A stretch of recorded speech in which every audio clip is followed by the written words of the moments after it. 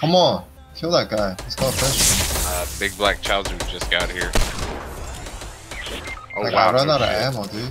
What do you? Oh my god. Can you guys kill this guy?